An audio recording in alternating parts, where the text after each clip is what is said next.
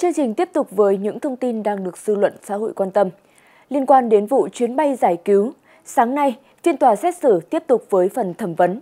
Trong vụ án này, bị cáo Phạm Bích Hằng, giám đốc công ty Vinamichi, bị truy tố tội đưa hối lộ. Trong khi đó, bị cáo Trần Minh Tuấn, giám đốc công ty cổ phần xây dựng Thái Hòa, bị truy tố tội lừa đảo chiếm đoạt tài sản. Cáo trạng xác định, ông Trần Minh Tuấn đã đưa hối lộ hơn 700 triệu đồng, lừa đảo chiếm đoạt hơn 5,6 tỷ đồng. Bị cáo Phạm Bích Hằng bị xác định đã đưa hối lộ hơn 1,1 tỷ đồng. Trả lời thẩm vấn tại tòa, bị cáo Trần Minh Tuấn không thừa nhận cáo buộc. Trong khi đó, bị cáo Hằng khai đã bị ông Trần Minh Tuấn đe dọa, ép phải gặp để xác nhận rằng bà Hằng đã nhận lại số tiền từ ông này trả lại. Trong khi trên thực tế không hề có việc này. Cũng theo lời khai của bà Hằng, khi ông Trần Minh Tuấn nhắn tin với nội dung đe dọa, bà đã làm tường trình về vụ việc này gửi cơ quan điều tra. Trả lời thẩm vấn của luật sư về việc nhận tiền của ông Trần Minh Tuấn, cựu Phó Chủ tịch Ủy ban nhân dân thành phố Hà Nội Trử Xuân Dũng khai biết đến ông Tuấn thông qua một người quen biết giới thiệu và nhận tiền qua thư ký nên không nhớ số tiền là bao nhiêu. Chỉ nhớ thư ký nói đây là chỗ người quen, xin được cách ly. Tuy nhiên, làm việc với cơ quan điều tra, ông Dũng xác nhận số tiền 500 triệu đồng như cáo buộc.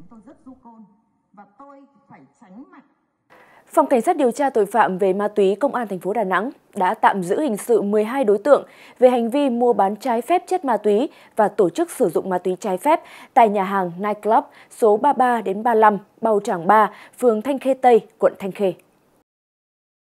Nhà hàng Night Club trước đây kinh doanh loại hình dịch vụ karaoke, tuy nhiên do chưa đủ điều kiện hoạt động nên đã chuyển qua hoạt động kinh doanh nhà hàng ăn uống. Lợi dụng bình phong này, các đối tượng là nhân viên nhà hàng đã câu kết với khách để mua ma túy và tổ chức sử dụng trái phép.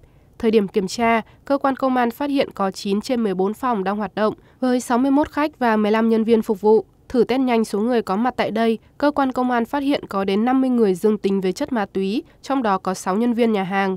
Tại hiện trường, lực lượng chức năng thu giữ các tăng vật để phục vụ việc sử dụng ma túy và 13 bình khí cười N2O có trọng lượng 13 kg, hai bình khí cười N2O có trọng lượng là 40 kg.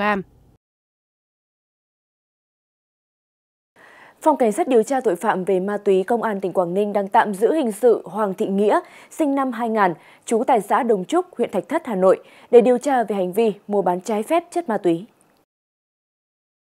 Trước đó ngày 28 tháng 4, tại nhà nghỉ Kim Hoàng tại khu Đông Thịnh, phường Trà Cổ, thành phố Móng Cái, tỉnh Quảng Ninh, Công an thành phố Móng Cái đã bắt giữ 5 đối tượng về hành vi tàng trữ trái phép chất ma túy và tổ chức sử dụng trái phép chất ma túy, thu giữ tổng cộng 68,915 gam ma túy tổng hợp các loại và một bộ dụng cụ sử dụng ma túy.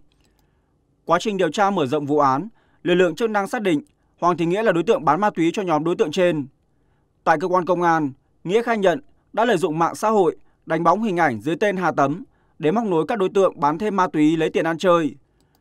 Bằng thủ đoạn nhận tiền qua tài khoản và gửi ma túy qua dịch vụ chuyển hàng, đối tượng đã bán 12 gói ma túy nước vui với giá 3 triệu đồng một gói và 20 triệu tiền ma túy ketamin.